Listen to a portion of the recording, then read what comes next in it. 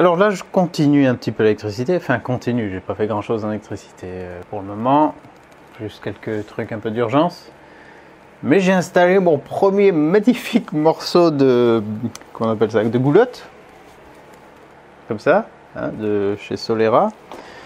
Le partenaire qui m'a fourni le matériel électrique euh, pour faire tout ça en saillie. Alors là, on était déjà plus ou moins sur euh, des trucs en saillie à l'ancienne. Euh, en saillie ou carrément en apparent euh, dégueulasse. Avec des vieilles gaines en métal comme ça. Voilà, des trucs de ce genre. Voilà. Aucune mise à la terre pour euh, aucune des d'ailleurs. Les interrupteurs qui font une, belle étincelle, normalement on le voit bien de nuit à l'allumage et euh, parfois sur lesquels il faut insister un peu plus parce que c'est assez merdique. J'ai prévu d'installer le tableau électrique ici. Euh, bien sûr, pas coller la contre, mais là, alors là pourquoi? Bah, Je suis un peu embêté parce qu'en fait l'installation, je vais devoir un peu la transvaser. Euh, C'est-à-dire que je peux pas, enfin en ce moment c'est compliqué pour euh, genre tout couper et tout refaire. Donc ce que j'aimerais faire, déjà ça m'arrangerait plus de l'avoir ici, le tableau électrique. Il est petit, il est qu'une rangée, euh, 14 modules. Si vous l'avez pas vu encore quand j'avais présenté dans la vidéo précédente ou celle d'avant, ça dépend dans quelle vidéo je vais sortir ce- ces images. Donc il sera pas très grand. Je pensais le mettre ici. Il sera en saillie de, de- pas grand chose, de ça à peu près. Donc on aura largement accès aux vis qu'il y a là et à tout, tout ce bordel. Et là, de toute façon, sur ce mur, euh, je vais rien mettre contre, puisqu'on a ça. Et euh, ici, bah, c'est un peu trop euh, visible, c'est pas le meilleur endroit. Là, ça sera plus discret et surtout, tous les câbles viennent, à part l'alimentation du compteur qui alimentera le tableau, tout part dans cette direction. Là, ça commence à faire un peu en mode euh, dans les rues de, certaines villes asiatiques euh, où c'est le bordel, où on voit des branchements euh, sauvages dans tous les sens. Ça me fait penser un petit peu à ça. Et j'aimerais bien que ça soit un petit peu plus propre aussi, là, le pseudo tentative de rendre ça discret en suivant les poutres. Ça, c'était pas mal des précédents. Je pense qu'il y a eu plusieurs coupables. Ceux d'avant et ceux qui ont pris la relève, ils, ont, voilà, ils ont suivi le même schéma. Moi, je vais pas suivre ce schéma, ça me plaît pas du tout. Donc là, c'est compliqué parce que j'ai aussi une épaisseur de, voilà, tout ça d'épaisseur qui est euh, en fait, voilà, bah ça, ce mur, qui est la séparation entre ces deux parties de maison. Cette partie là où on a la cuisine et l'autre partie où on a euh, salon-chambre. Donc c'est compliqué de percer au travers, même, euh, je me lance même pas là-dedans, donc je passe par des endroits comme ça. Qu'ensuite euh, je, ferai une petite, euh, un truc pour masquer. Quoi. Et là l'ancien il avait, il avait passé carrément là en plein milieu, donc c'est pourri. Voilà pourquoi je fais ça en saillie, parce qu'il y a beaucoup de... Bah, c'est que du dur. Je vais pas m'amuser à faire des saignées, c'est trop compliqué en vivant dans la, dans la maison. Donc même si c'est pas très beau, c'est quand même plus discret que des câbles euh, comme ça. Pareil, ici, ça sera une zone qui, sera que je vais à la fin masquer.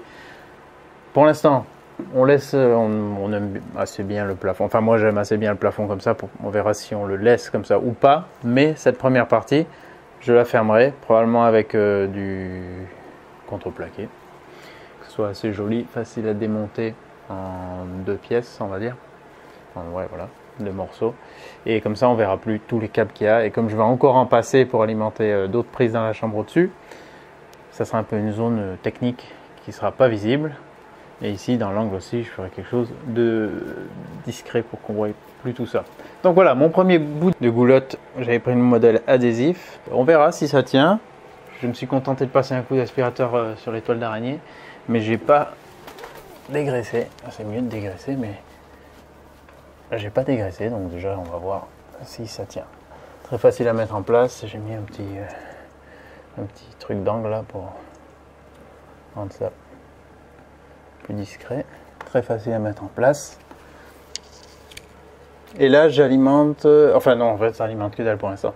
Ça va alimenter une prise dans la chambre. Et euh, ici, je vais descendre là. Je vais aussi mettre un petit bout de goulotte. Après, je vais percer au travers là de l'angle pour arriver euh, juste ici.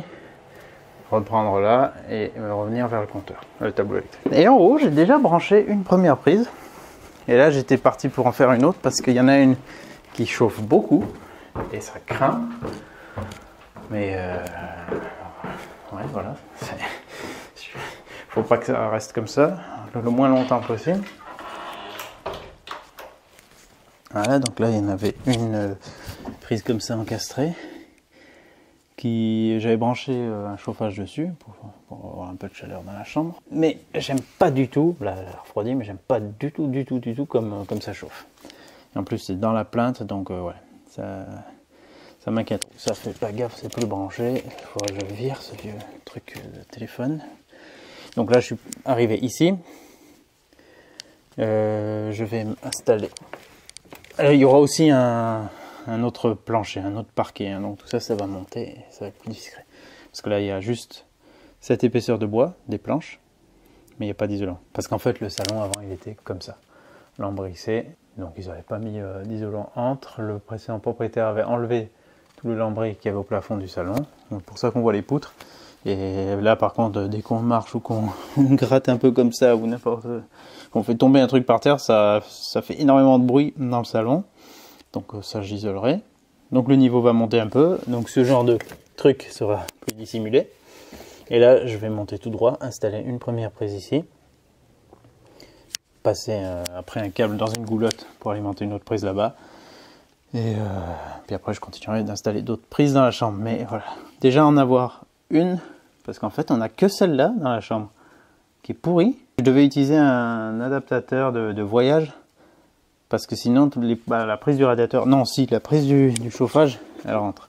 Mais il faut que ce soit des prises fines comme ça. Voilà. Donc ça, faut que je remplace au plus vite. Et par contre, j'en ai déjà installé une.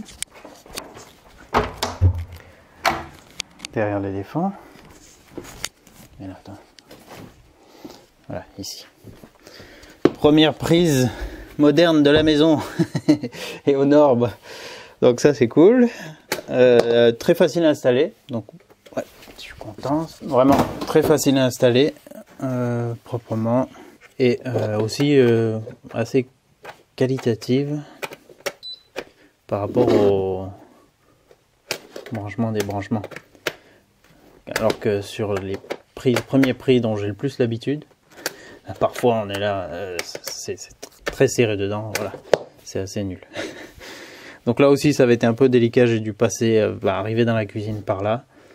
Et euh, toute la maison euh, ancienne avec beaucoup de pierres et d'épaisseur. Il faut forcément que je passe par les planchers. Bien que les anciens étaient passés par des endroits assez improbables. Du genre... voilà, alors un câble électrique à côté d'un tuyau d'eau. C'est... Assez spécial. Avec des espèces de boîtes de dérivation en métal et tout, incrustées dans la pierre. Bon. je suis pas trop fan de tout ça, donc je vais essayer de vraiment tout reprendre au fur et à mesure. Mais comme euh, c'est une maison qu'on a habitée immédiatement, et d'ailleurs qui était habitée avant, hein, pendant des décennies, avec euh, cette installation qui a un tout petit peu évolué quand on voit ce genre de prise. il y a, autant il y a des, prises, de, des boîtes de dérivation en plastique moderne, entre guillemets, euh, mais avec toujours les vieux, les vieilles gaines en, métal et les vieux fils. Voilà, donc première prise installée, ça s'est bien passé. Uber, toujours à raconter un truc, toi. Hein. Voilà, donc là je vais faire pareil dans la chambre. Et on aura deux prises aux normes. Et après, j'installerai le petit tableau électrique euh, qui est dans cette boîte. Voilà, et là j'ai tous les, les T, les angles, les angles, comment on va dire, les angles entrant sortant, comme ça par exemple ici, il faudrait que ça soit comme ça. Voilà, bon, je pense que j'ai ce qu'il me faut. Le tout c'est de s'y mettre et j'avoue, je vous avoue que c'est un truc qui me déprime un peu. Surtout quand c'est pas clair et que je sais pas trop comment m'y prendre, par où passer pour que ce soit le plus propre et pas que j'ai à refaire euh, plus tard. Voilà, on voit les anciennes installations, hein, c'est ce genre de truc se passe le long des plaintes, ça rentre là. Et j'ai Ouais, tout simplement pas vraiment envie de juste mettre un interrupteur neuf euh, sur ce vieux euh, câble. Celui-là, il est aussi relativement moderne. Il y a une, je pense, une ou deux phases de modernisation. Mais ouais, beaucoup de boulot pour reprendre tout ça. Voilà, donc je continue, puis je vous montrerai la gueule que ça a. Là maintenant, je vais installer le tableau électrique. L'installer, pas le câbler. Mais déjà, s'il est en place, ça va me permettre d'avancer. Là, j'ai encore, si on voit, ouais, j'ai encore deux câbles qui viennent. Un qui alimente une prise pour la chambre, la première prise aux normes euh, de notre chambre. Ça, ça va alimenter une prise du salon. vous verrez par où ça passe, je montrerai plus tard.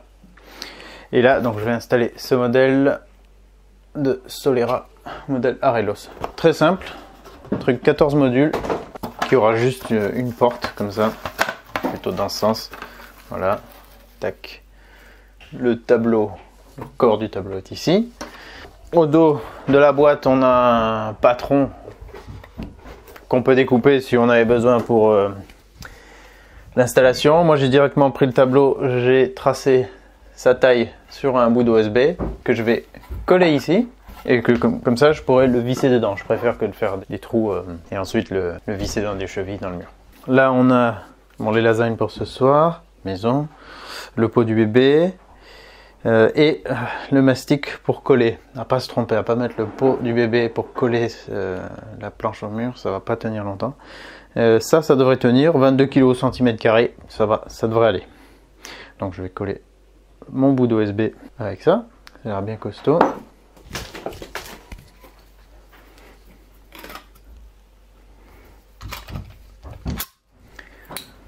pas encore utilisé. Ah bah du coup j'ai pas coupé la canule à la bonne taille.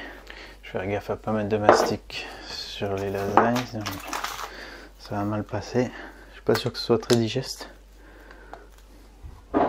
Bon, 22 kg au centimètre carré, donc en fait je peux mettre juste ça. Tac, 1 cm, c'est bon, ça va tenir. non, je vais lui faire un cordon.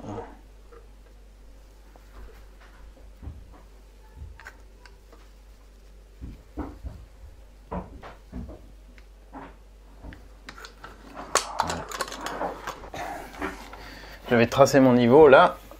Et euh, le tableau, quand on l'installe, il faut que les disjoncteurs, notamment l'interrupteur différentiel, mais bon, tous, soient entre 0,9 m et 1 m 80. Et euh, d'autres normes encore pour euh, les personnes qui sont en chaise roulante. Je crois que c'est beaucoup plus bas. Genre, ouais, je sais plus. Bon, voilà, renseignez-vous sur les normes. Là, je suis dans les clous. Enfin, pas pour une personne à mobilité réduite, mais Rien que l'accès à la maison n'est pas adapté, donc euh, voilà. Hop, je vais mettre ça comme ça.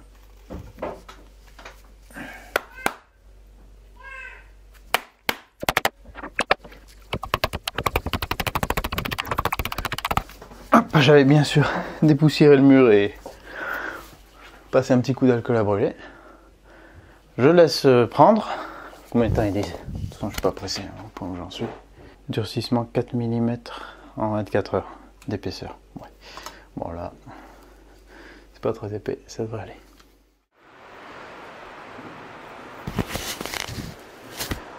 Alors avec ce temps des plus mitigés, c'est intéressant on va dire, il n'arrête pas d'alterner pluie et soleil. Ça fait des effets assez beaux. Je vais... Merde le tapis de bain. Putain voilà justement il fait bien soleil.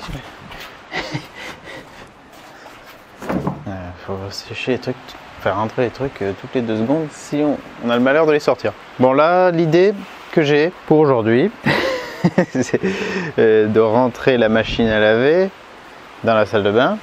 Oui, parce qu'elle est dehors, parce que pourquoi pas dehors, c'est intéressant dehors. Et je vais la mettre à la place de ce bidet. Euh, alors, ce qui est pas mal, c'est que c'est les raccords à l'ancienne sur tube en cuivre.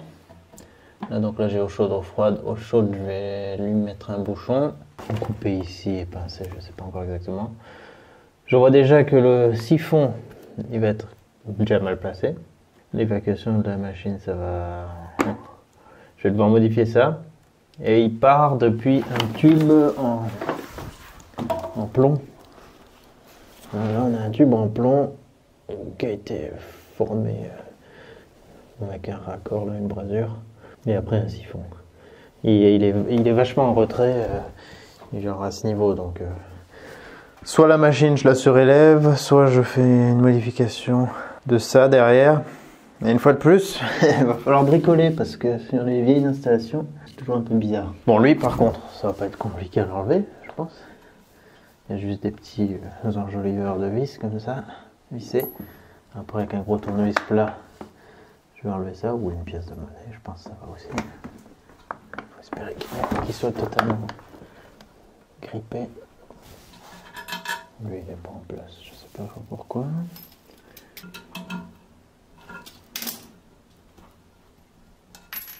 Voilà. Bon, je vais dévisser ça.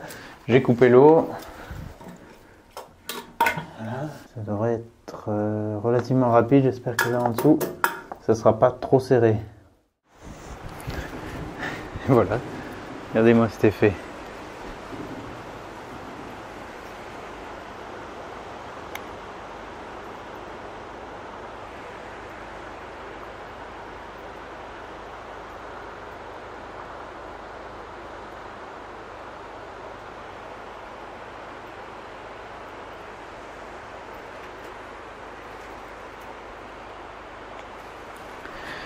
Et pourquoi je veux faire ça maintenant? Parce que bon, bah, ça allait, ça a, été comme ça tout l'hiver. Il y a juste 3-4 fois où j'ai dû euh, sortir la. Comment s'appelle? Le décapeur thermique pour faire fondre des tuyaux qui avaient gelé parce qu'on a eu un hiver bien froid. Et juste à cet emplacement, j'aimerais installer cette petite serre de jardin parce qu'on est en plein dans les semis. Et donc euh, bah, là, ça serait parfait. Voilà. Alors ça s'annonce quand même relativement dur. Ouais, donc je vais leur remettre un petit coup de dégrippant. Comment il ça? Super dégrippant. Action rapide, c'est ce qui m'intéresse. Parce que là, j'aimerais bien faire ça tout de suite. Alors, est-ce que c'est si rapide que ça?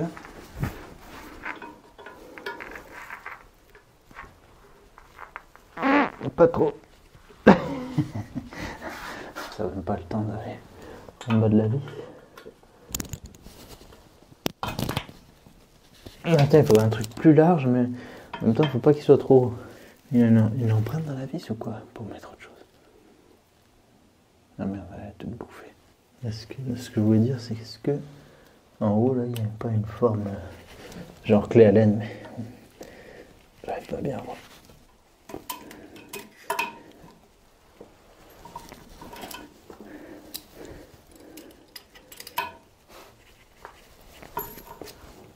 La clé, c'est dur. hein. Voilà, ça devait faire quelques décennies qu'elle était en place. Trop bien, franchement cette pince clé, elle est géniale. Là, elle a même pas de dents. Mais le fait que qu'on puisse, contrairement à une clé à molette, bah, pincer, ça change la vie. En plomberie, une tuerie.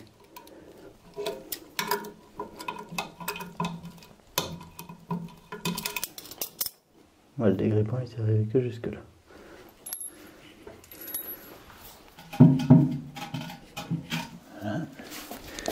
Je viens de mettre un peu de lubrifiant ici, de l'autre côté aussi, un petit peu là et là. On va voir si j'arrive à enlever ça sans que ce soit la bière absolue. Alors, attends, par contre, la pince clé, celle que j'ai, peut-être pas aller pour ça. hein. Non. Ah, Attends, l'eau chaude, est-ce que. Ah ouais, putain, l'eau chaude, je peux en avoir un peu quand même, parce qu'il n'y a pas de. Par gravité, ça peut descendre un peu du chauffe-eau solaire, là. Même s'il n'y a pas d'eau froide qui rentre, là, c'est plus en mode gravité. Euh, et oui, et comme il peut faire une prise d'air. Merde, putain, comment je vais couper ça? Chier. Est-ce qu'il y a un robinet prévu? Putain, pourvu qu'il ait prévu un robinet, l'ancien. Non. Attends, si. Ouf. Putain, ouf. Il y en a un ici. Alors, c'était pas l'ancien, c'était encore plus ancien. Ça devrait être bon. Non. Quoi?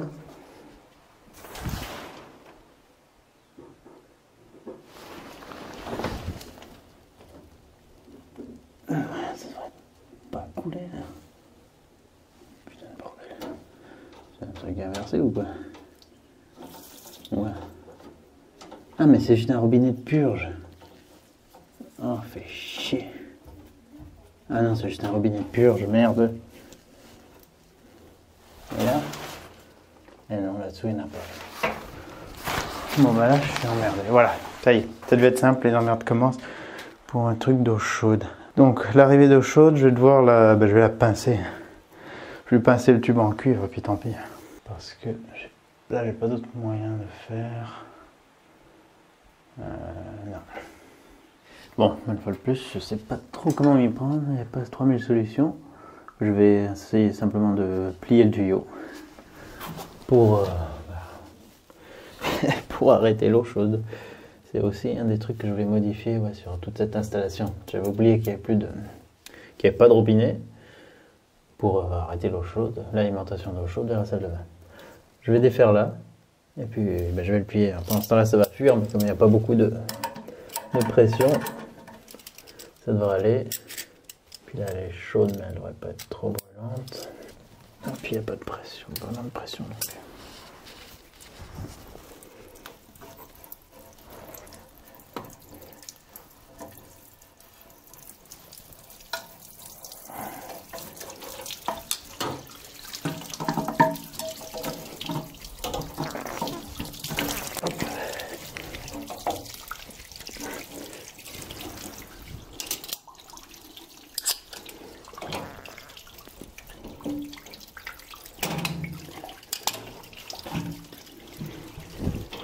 ça va. Fait chier.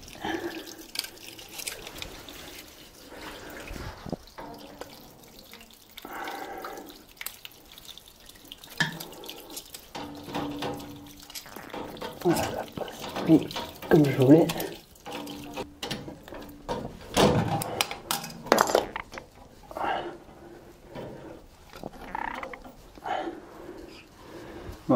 Là ça peut couler vers la douche. Voilà, ça coule un petit peu, mais pas trop. Dans ma boîte euh, de plomberie, j'ai trouvé euh, un bouchon. Un raccord comme ça.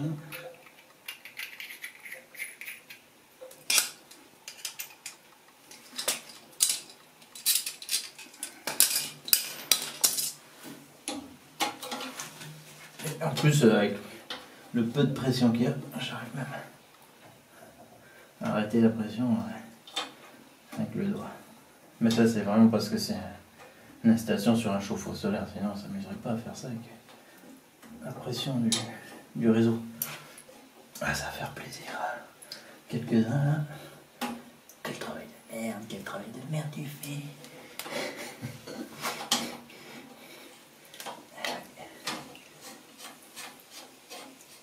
Pas dedans. On est sur un canapé, c'est facile. Ouais, fauteuil de bureau confortable, c'est peut-être ça.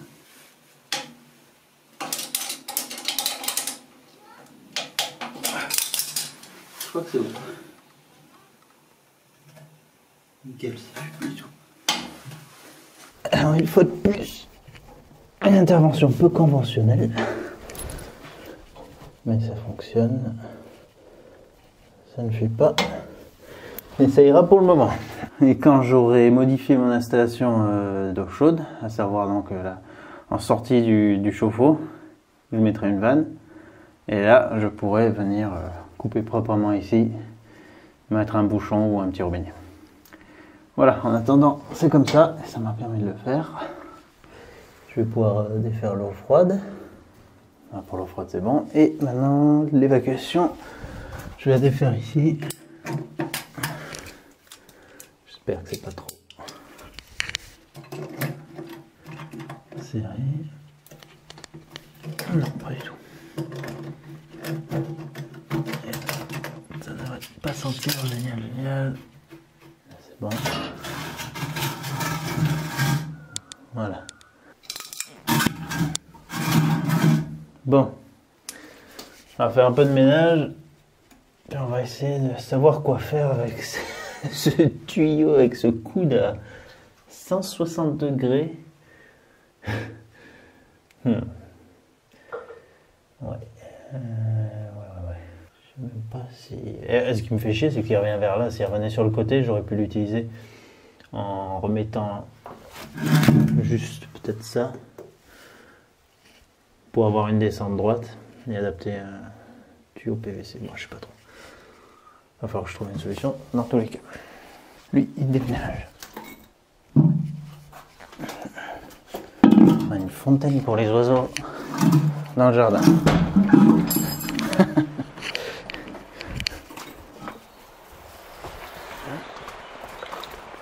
Pour remettre en eau la salle de bain au plus vite, je vais euh, mettre un raccord sur l'eau froide, sur l'arrivée d'eau froide.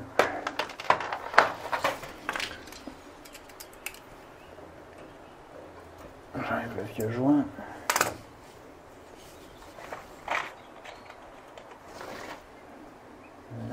Et je mets une vanne. Comme ça, je peux isoler la machine à laver. S'il y a besoin de la démonter, de la réparer, si je tarde à l'installer, mais j'espère faire ça aujourd'hui dans la foulée. Oulala, qu'est-ce que tu fais? On lave les mains. Non, tu te laves pas les mains. Tu mouilles le monde entier, arrête ça. Voyez de la rose Non, non, arrête. Tu vas être trempé, tu vas pleurer dans pas longtemps. Oh non, Si, si. oh non. Tu vas dire, j'ai les mains froides, j'ai les mains froides, j'ai les mains froides. Ne t'inquiète pas. Non, je m'inquiète. Mais il n'y a pas besoin d'arroser, il pleut, tu sais. Voilà, je vais mettre en eau, la vanne est fermée. Et bien sûr, je laisse tourner comme d'hab à chaque fois que je fais ce genre de truc. Comme ça, a un geyser ou une catastrophe, au c'est divertissant.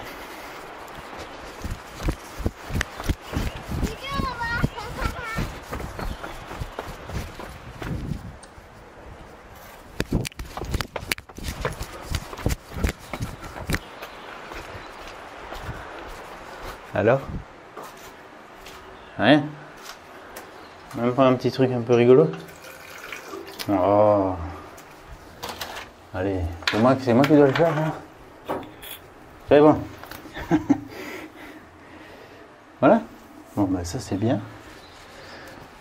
L'installation est de nouveau fonctionnelle. Et en plus, en plus d'être fonctionnelle, elle est artistique. Ça c'est vraiment classe. Moi j'aime bien. Le petit côté cuivré qui ressort bien là, suite à la torsion. Ça lui a redonné son, sa beauté d'antan.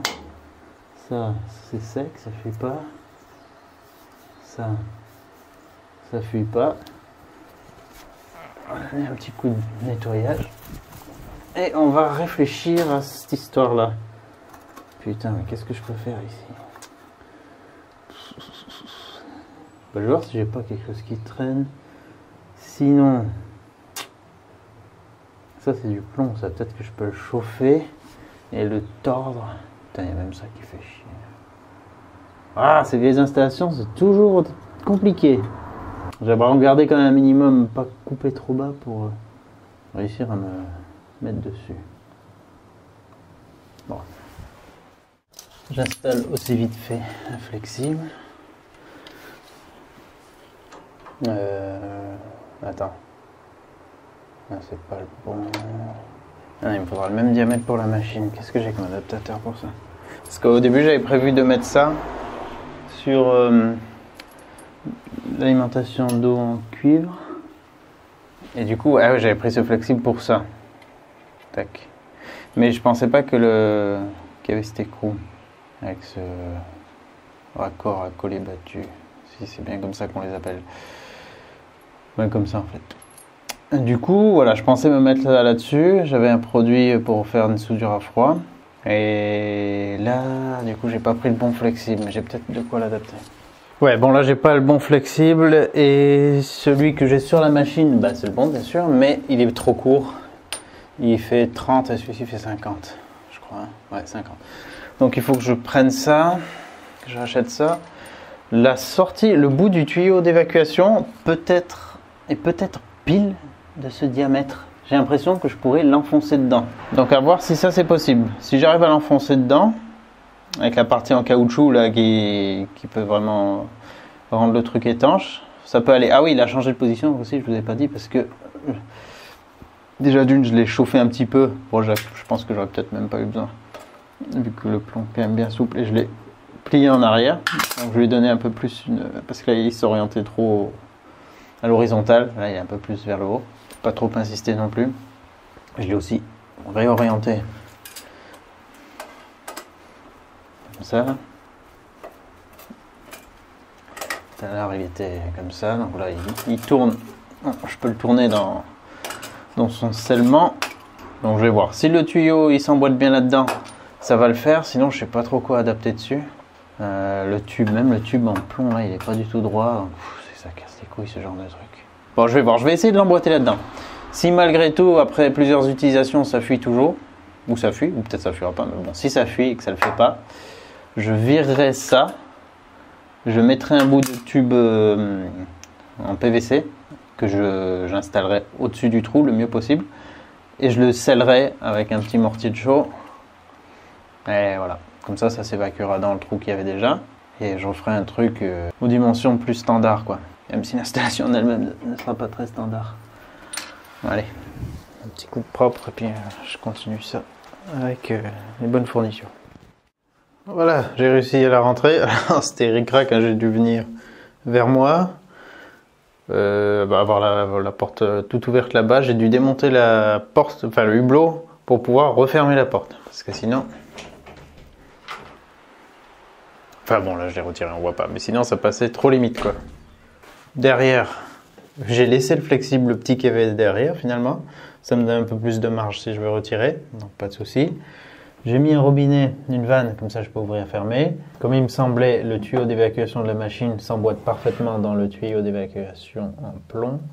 Donc euh, je vais voir euh, si ça pose pas de problème de le laisser comme ça pour le moment. Pas de fuite avec euh, l'arrivée d'eau chaude, donc je laisse comme ça pour l'instant. Je vais ouvrir la vanne.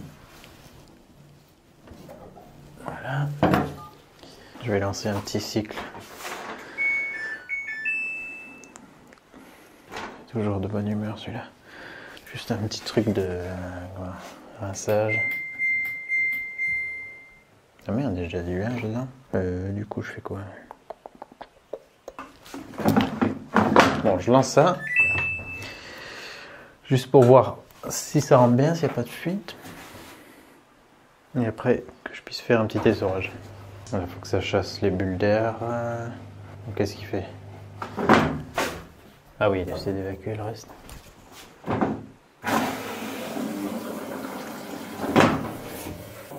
Bon, je contrôle partout qu'il n'y ait pas de fuite.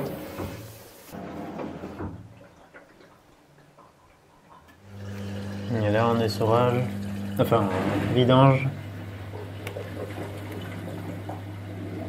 Est-ce que ça va le Ça a l'air d'aller. Ça m'arrangerait pour le moment. Comme ça, un jour, je pourrais faire une sortie plus propre. Mais comme j'ai plein de trucs à faire, si là ça tient comme ça pour le moment et que ça fuit pas, que ça déborde pas à chaque euh, machine qu'on fait, ben, je vais laisser comme ça. Bon, le mieux c'est de tester en situation réelle, faire une machine complète et je verrai bien. De toute façon, ce qui est bien c'est que si ça fuit, ça s'écoule directement dans la douche, donc euh, pas de souci. Au moins un avantage de cette immonde salle de bain.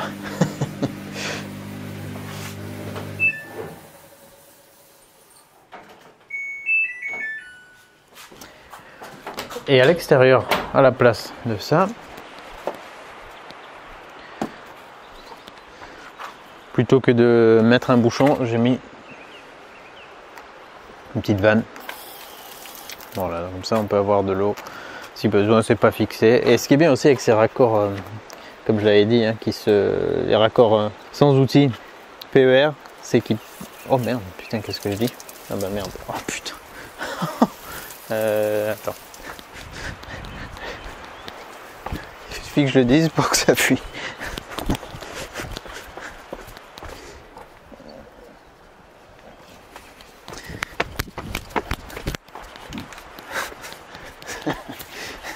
C'est que c'est la première fois que ça m'arrive. Il se met à fuir à ce niveau. Il faut que je le remboîte un peu plus ou quoi? Mais normalement, j'ai jamais eu ce problème et j'étais en train de dire qu'on peut les pivoter avec, avec le joint, les joints qu'il y a dedans, ben, ça pose pas de problème, mais là, ça se met à fuir, donc je vais voir. Bon, ça va. je l'ai je l'ai repoussé un peu et c'est bon, il ne fuit plus. Première fois que ça me fait ça. Bon, moi je vais me méfier de celui-là, euh, des fois qu'il s'enlève. Donc là, ça libère la place et puis on a monté cette petite serre pour les semis. Du coup, qu'on mettra peut-être ici. Comme ça, direct en, sortie en sortant de la maison, on peut venir s'occuper des, des semis. Il y a de l'eau juste à côté. Ben, ça avance. hein. Déjà, la machine à l'intérieur, c'est cool. Je vais la pousser complètement. Et voilà, ça se place assez bien. Je peux pas la rentrer plus, justement à cause de l'évacuation. Là, avec la porte, ça vient buter contre, mais ça suffit. Voilà, c'est pas comme si c'était gênant pour rentrer. Puis ça n'arrive jamais qu'on ouvre la porte euh, de toute façon jusqu'au bout en fait. Voilà, bon bah ça ira comme ça. Et puis si je refais l'évacuation, je la mettrai plus vers le mur et ça permettra de reculer un tout petit peu. Mais elle est assez grosse cette machine aussi, elle est assez volumineuse en profondeur.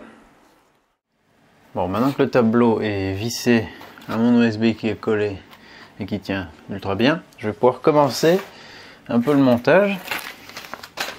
Ça va être la première fois que je monte un tableau électrique, donc euh, ben, je répète, je répète, je répète, je répète ou je rappelle que je ne suis pas électricien, que je suis amateur, c'est la première fois que je vais monter un tableau électrique, même s'il est petit, voilà, ça reste la première fois. La dernière fois, j'avais installé un tableau prééquipé. Donc on va voir comment ça se passe, et c'est juste une fois de plus un partage, et pas ça n'a pas prétention à être un tutoriel.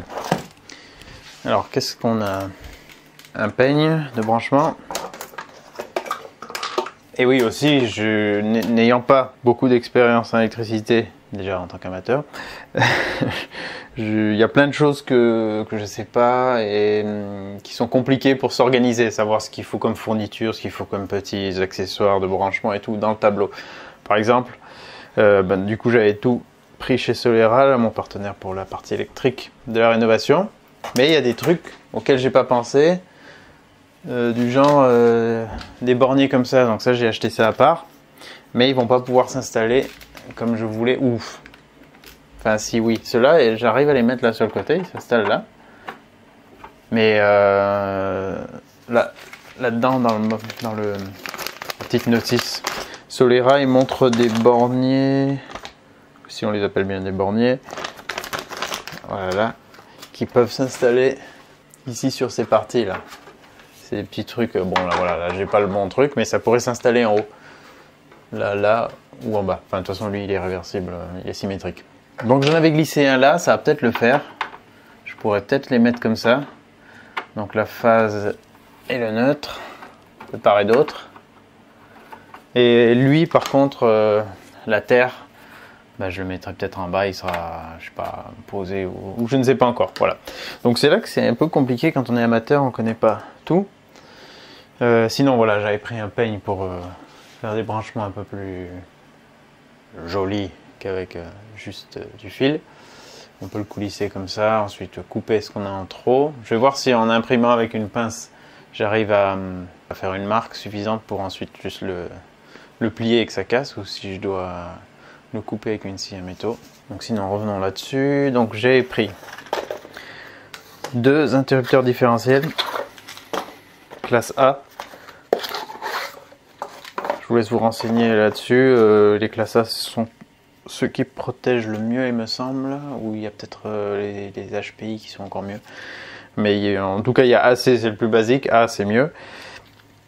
Ça protège des appareils plus sensibles. Donc c'est écrit en, en espagnol, hein, c'est pas NF, c'est euh, EN. Moi ça me pose aucun problème, je fais ça pour moi, pas pour des clients français ou quoi que ce soit. Donc voilà, ça me va très bien comme ça. De toute façon, en Espagne, leurs installations sont tout aussi sécurisés que chez nous. Voilà ce que j'ai pris. Attends, j'ai pris les deux mêmes. Ouais, de 40 ampères, 30 mAh. Voilà. Emballé comme ça, sous vide, avec un petit truc de, de gel silica pour l'humidité. Le problème, c'est que j'ai vu un peu. Enfin, c'est un truc. Un, un, tableau 14 modules, sauf que j'ai pas pensé à ça. Donc, euh, je risque de manquer de place. Donc, soit je les mettrai pas tous et j'en garde peut-être pour le garage. Parce que lui, en fait, après, je le recyclerai au garage. je le mettrai dans le garage pour euh, avoir des, disjoncteurs qui pourront alimenter différents appareils au garage. Comme ça, si a un truc qui, tire trop, ben, ça coupera pas tout. Je pourrais voilà, différencier des circuits dans le garage. Et là, euh, des disjoncteurs différentiels, magnétothermiques, un peu de tout. J'ai pris en 10, en 20, en 25 et en 32. En 16 aussi, pardon. 10, 16, 20, 25, 32. Selon les équipements. Donc je vais mettre ça en place. Voilà, derrière on a... Ça se met en place tout seul, hein, la petite languette. Si on veut tous les retirer, fait comme ça avec un tournevis, comme ça elle reste enclenchée, ou plutôt euh, déverrouillée. Et là je peux positionner les choses et quand j'ai terminé de positionner, j'appuie derrière et il est en place. On peut quand même encore le coulisser un peu. Hein. Voilà. Donc magnétothermique, c'est une double protection. Protection euh, donc différentielle s'il y a un court-circuit. Thermique s'il y a une surcharge, s'il y a des appareils qui tirent trop sur un réseau. Par exemple, comme c'est le cas ici, sur celui-ci, euh, qui a des branchements euh, un peu sauvages, on va dire. Et parfois les différentiels, vu que bon maintenant je commence à savoir un peu quelles prises sont alimentées par quel truc, mais il y a certains réseaux, par exemple celui qu'on utilise le plus malheureusement, qui était tout branché sur un, 10. Donc euh, par exemple, euh, il y a un chauffe-eau, un petit chauffe-eau qui se déclenche. Il est petit, mais il fait quand même euh, peut-être 1500 ou 2000 watts. Quand il se met à tirer et que on allume par exemple le radiateur dans la salle de bain, bon là ça va je crois, mais si on branche un autre appareil qu'on utilise, là il va disjoncter. C'est trop faible par rapport à ce qu'il y a derrière. Et là maintenant je vais tout refaire ça proprement. Donc lui, là, sur le côté, j'aurais peut-être... Ouais, de toute façon, là, je peux pas en mettre à cause du, truc en plastique qu'il y a là. Je peux les mettre que jusque là, pas au-delà. Donc peut-être ça, m'ira bien de faire comme ça. Ceux-là, ils arrivent à se, se clipser ici, enfin se glisser sur ce rail. Donc ouais, là, ça pourrait faire un truc clean. J'ai l'impression. Donc pourquoi j'en ai pris deux comme ça? Parce que je veux faire, euh, vu que j'en avais pris combien des modules? 2 Ouais, 11. Il faut pas qu'un interrupteur différentiel alimente plus de 8 disjoncteurs. Donc j'en ai pris deux tout simplement. Lui c'est pareil, sauf qu'on peut le manipuler facilement à la main. Voilà.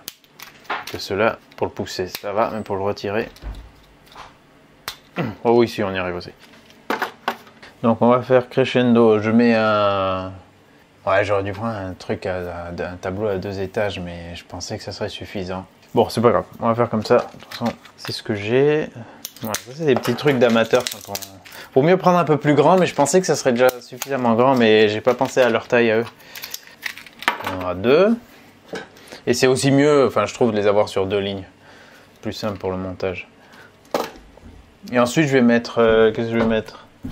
Bah, du plus, fort ampérage au plus faible. Ou c'est mieux de faire l'inverse Non, je vais mettre du plus fort au plus faible. Donc par exemple 32, 20, 16, 10. Et pareil pour lui. Et je vais mettre un peu d'éclairage et de prise sur chaque. Ça permet d'avoir euh, des réseaux qu'on peut couper séparément, mais tout en ayant une partie de la maison qui soit quand même alimentée. Je vais pas faire genre toutes les prises sur un et tous les interrupteurs sur l'autre. Je vais un peu panaché entre guillemets. Je sais pas si c'est la meilleure solution, mais c'est comme ça que je vais faire. 32, 20, 16,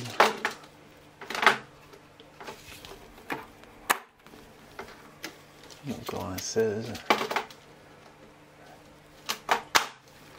un 10, Et là, 25.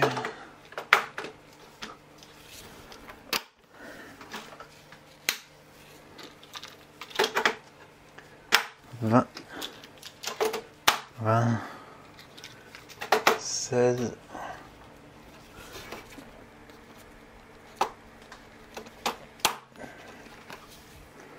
10. Ouais. Ouais, c'est bien. C'est garni. Alors, j'ai aussi pris du câble en 6 carrés qui me permettra donc d'alimenter la barrette. Il faudrait donc que je coupe la bonne taille. Donc la barrette, elle alimentera le peigne plutôt, pardon. qui alimentera cela, mais c'est pas aligné. Enfin, les trous ne correspondent pas avec les interrupteurs différentiels, donc je pense que une fois de plus, euh, je m'y connais pas assez pour dire si comment ça se mettrait dans d'autres situations. Voilà, ceux-là, bien sûr, ils sont alignés. Mais, pas avec cela, donc je peux pas euh, prendre la phase de celui-là, la mettre là et le neutre derrière. Pour ça que j'ai pris ce câble. Donc je vais faire des petits ponts, là et là. Et là, la phase du compteur viendra ici. Elle alimentera les deux interrupteurs, les deux interrupteurs différentiels. Et euh, le neutre, pareil là. Il alimentera les deux, peut-être pas en dessous, plutôt. Alors là, il faut que je vous montre un petit truc, justement, un truc d'amateur qui peut nous faire un peu, pas vraiment galérer, mais questionner un peu. Alors déjà pour le peigne, euh, pas de souci, ça se coupe facilement à la pince. Euh, là, bon, je viens de couper celui-ci, pince coupante, je vais vous montrer. Là, je prends un bout du plastique je vais bien dépasser de chaque côté.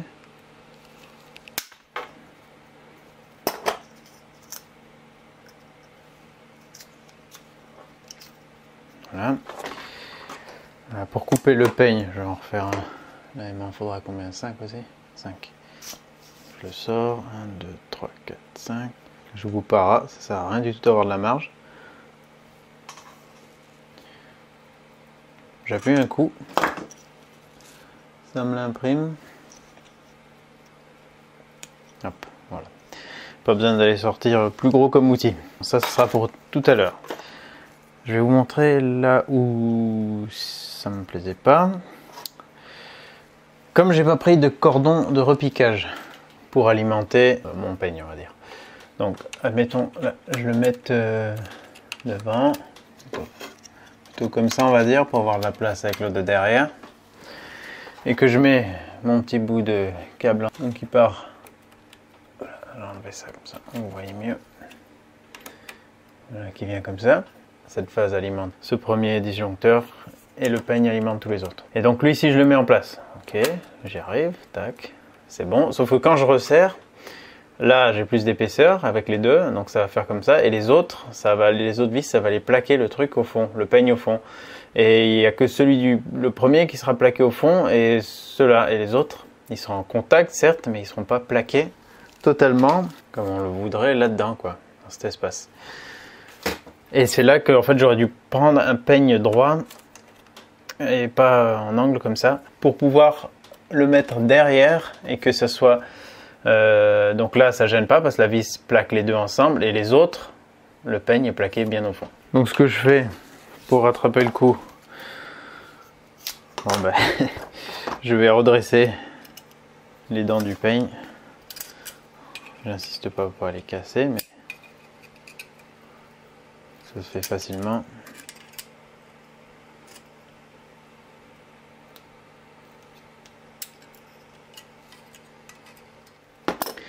J'en fais un tout droit. J'arrive quand même à remettre l'isolant. Voilà, je me fais un peigne droit et ça me permettra donc de le mettre derrière. Et en vissant, bah, il sera droit et derrière, je pourrais aussi mettre l'autre. Bah, l'autre, j'aurais pas besoin de m'embêter derrière. Normalement, j'aurai la place pour le mettre dans cette position. Donc plutôt commencer par le neutre, comme ça j'y vois plus clair. Je mettrai le neutre et après la phase. Mais voilà, pensez-y à prendre le, le, qui correspondra le mieux au tableau selon la disposition que vous avez. Et voilà, les cordons de repiquage, ça peut être plus simple que de faire ça, c'est un peu rigide à plier, mais bon, ça se fait. Sinon, un petit coup pour venir sur les outils que j'utilise pour ça. Bon, bah ça c'est annexe, juste pour redresser. Alors là, j'ai que du Knipex, à part du Facom en tournevis. Et ils m'ont filé cette pince là. Ils m'ont filé ça dans un étui de, démonstration. J'ai pas de boutique ni rien pourtant, mais là c'est une, super pince. C'est un petit peu trop la classe pour moi, mais elle est bien foutue parce qu'elle a ses crans. Et du coup, elle coupe euh, très facilement. Alors là, je vous montre même pas sur du petit. Et dans leur, dans leur coffret là, ils montrent, il y a même des bouts de câble pour montrer. J'ai le plus petit, vu qu'elle coupe progressivement, il n'y a vraiment pas beaucoup besoin de forcer.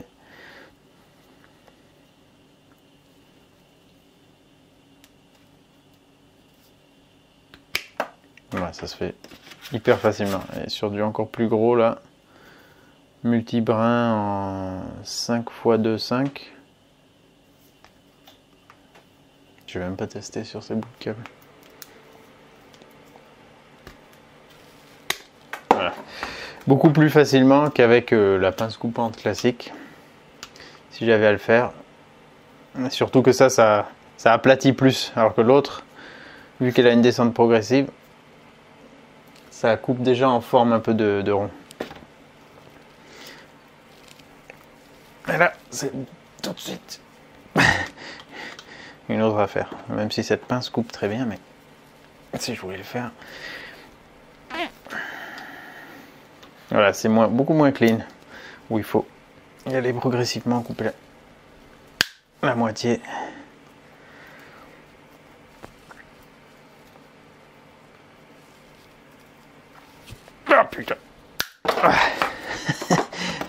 Et c'est un peu moins clean qu'avec ça.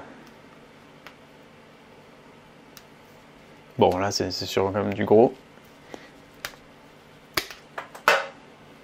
Mais c'est beaucoup plus sympa. Isolé 1000 volts, bon, ça m'arrive pas souvent de bosser sur du 1000 volts, même jamais. Mais voilà, il m'a envoyé ça. Et c'est vrai que si on a beaucoup de câbles à couper, ça le fait. Bon, je vais pas avoir énormément d'électricité, mais je vais en avoir un petit peu quand même, donc je, l'avais déjà un peu testé. Et ouais, bien bien pratique. Aussi pour euh, recourber quand j'ai coupé ça. Je sais pas si c'est une des fonctions. D'ailleurs, j'ai même pas lu leur petit prospectus, mais là, je prends un, bout, un bout comme ça. Je vais prendre avec le bleu puisque je vais en refaire un. Et ensuite, pour le plier en deux, je l'amorce un peu. C'est assez rigide. Mais admettons je vais pas trop me casser la tête. Enfin, pour vraiment le plier facilement. Elle s'ouvre vachement. Je peux utiliser l'intérieur de l'avant de la poignée. Alors, ça peut aider des fois. Si on veut faire une boucle bien serrée sans trop forcer avec les mains. Vu que là c'est bien plat, euh, voilà, ça permet. Je sais pas si c'est prévu pour, mais j'ai trouvé que c'était bien comme ça. Et celle-ci, elle a aussi des plats là qui sont bien pour. Euh, par exemple, le bout de câble qui avait été un peu pincé. Si, si j'avais utilisé celle-là vraiment et que je voulais le remettre en forme, là on peut utiliser cette partie pour remettre en forme. Donc ils sont bien foutus, bien pensés. Et si c'était ça, oui voilà. Je pense que c'est fait pour. Hein. En tout cas, moi j'ai trouvé que ça fonctionnait bien comme ça. Et sinon pour tout ce qui est dénudage, ben, j'avais cette pince à dénuder, l'ergo strip, super pratique. Là on a tous les petits euh, diamètres à dénuder 0,2, 0,3, 0,8, 1,5, 2,5, 4. Je peux utiliser ce truc du bout là. C'est plus pour dénuder des, des bouts de câble plutôt euh, comme ça pour les dégainer plutôt. Et là, euh, ça me permet de le dénuder parce que ça va comme diamètre. Je tourne un peu comme ça. Et hop. Lui est vraiment top. J'utilise bah, à chaque fois que je fais de l'électricité. Ça me change la vie parce qu'avant, comme j'expliquais dans la vidéo où je teste ce truc, c'était pince et couteau suisse. Et pourtant, j'en ai fait pas mal comme ça. Ce genre de truc, on gagne beaucoup de temps et surtout beaucoup, beaucoup de confort. Voilà, et là, une fois qu'on a coupé les, les fils, c'est vrai que là pour remettre en forme, ça peut être plus embêtant. Donc là avec ça, pratique. Alors là, j'ai terminé de câbler l'alimentation. Regardez pas ma Rolex, putain. Rolex Submariner Shinxi. non, je, je- honnêtement, je porte pas souvent ça. C'est juste parce que bah là, j'avais besoin de garder, d'avoir l'heure sur moi. Et j'ai juste pas mis l'occasion. J'essaye pas de faire genre que j'ai une euh, Submariner. hein. Euh, donc, je disais, j'ai câblé les interrupteurs différentiels puisque ils alimentent les peignes par le haut. L'arrivée se fera par le bas. Et comme euh, normalement on est censé le signaler, d'après ce que j'ai compris, j'ai vu que par exemple sur du Siemens, ça, s'alimente par le bas aussi. Enfin bon, il y a plein de montages. Le grand par exemple, il y a entrée haute, sortie haute. Euh, sinon en général c'est entrée haute, sortie basse. Mais là j'avais pas envie euh, de faire mon arrivée ici et de revenir par derrière pour remonter là. Bon, donc j'ai fait comme ça. Là j'ai euh, mes, borniers euh, phase neutre qui alimentent chacun euh, un interrupteur différentiel. Et je me suis imprimé des petites étiquettes du coup pour signaler que l'alimentation se fait par le bas. Par exemple sur les interrupteurs différentiels Hager, il y a un petit clapet qui est fourni avec. Si j'arrive à décoller. Bon ça.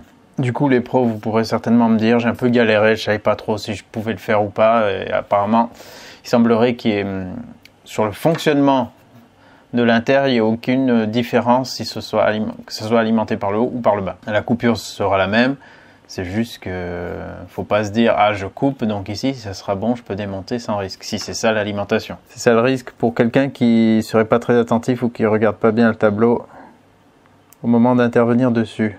Donc voilà, si vous avez des infos à ce sujet, n'hésitez pas. Et aussi un autre questionnement que j'avais, c'est à quoi correspond ce donc N, euh, ok, le neutre, mais 1, 2, est-ce que ça veut dire que c'est un ordre de branchement J'ai vu d'autres euh, comme ça où c'était carrément un 3, enfin je sais, voilà, je sais pas à quoi ça correspond, je sais pas si ça veut dire que c'est censé être l'ordre de branchement ou si. ou je sais pas, je sais pas, donc voilà. Il y a des infos comme ça quand on est euh, amateur, voire néophyte, qui sont difficiles à, à obtenir. Putain, mais j'ai pas réussi à l'ouvrir, à décoller ce truc. Ah putain, enfin. Voilà, je vais mettre directement sur les vis. Comme ça, si quelqu'un devait intervenir, eh ben, il peut pas le rater, les vis sont derrière, donc voilà, on est obligé de le voir.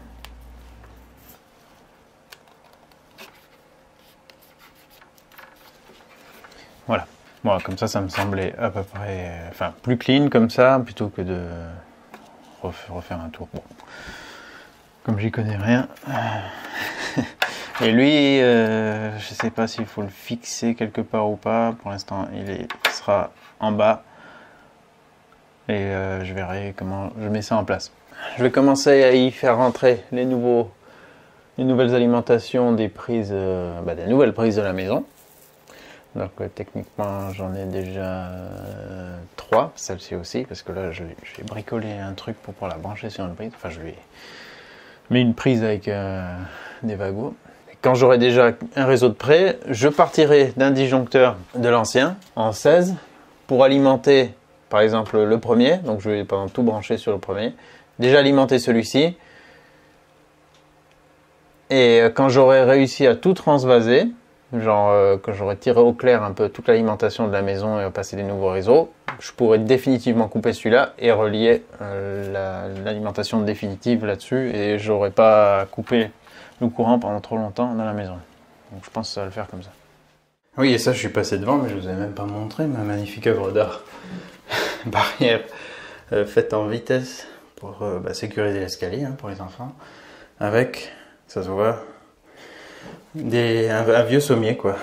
J'ai coupé à bonne longueur, qu'il faut que je mette une, une traverse là, je sais pas comment on appelle ça. Mais sinon, ça fait l'affaire. Petite charnière. Bon, je, voilà, j'ai fait ça en vitesse. Ça se pose là.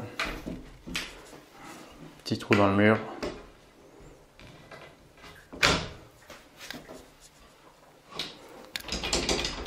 Voilà. Et comme il vient se poser sur la plainte, même la petite, elle peut même venir euh, monter dessus. Ça bouge pas, ça c'est joli, je le laisse parce que c'est vraiment, vraiment joli. Donc si ça peut vous, dépanner, hein, des, des, sommets, des fois on en trouve comme ça. Les gens les balancent, ça peut servir à faire une petite clôture euh, dans un endroit où l'esthétique ne prime pas. Bon et là c'était la sécurité qui primait. Mais comme je vous disais, il faut juste que je le, je le renforce parce que c'est pas bien rigide, mais bon voilà, ça fait le job, surtout quand c'est posé. Cette porte aussi, j'ai fait une amélioration qui ne se voit pas, mais on peut l'ouvrir simplement et la fermer. Avant, on ne pouvait absolument pas. J'ai raboté euh, bah, tout ce qui n'est pas blanc et elle coinçait complètement. On pouvait euh, tout simplement pas la fermer. Bon, voilà. Des petites améliorations comme ça, ça prend peu du temps. Donc c'est pas grand chose, mais c'est bien. C'est surtout la nuit, c'était euh, assez embêtant quand les enfants dormaient, de venir de le truc ça grinçait à mort, on, on pouvait pas la fermer même. Euh. Voilà, là maintenant, ça reste moche, mais ça fonctionne normalement. Il y a même une, clé. Je pas que la petite s'enferme, je vais virer ça. Cette porte elle est horrible par contre, faut que je la, que je la supprime aussi.